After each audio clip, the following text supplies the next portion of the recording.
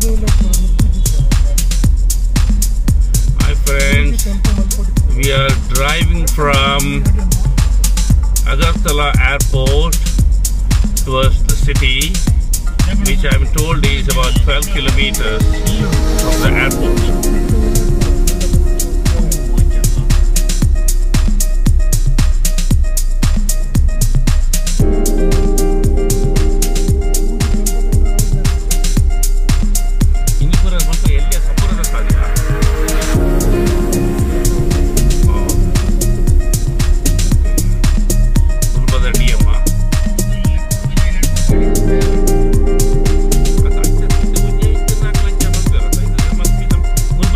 popular recommendation, huh?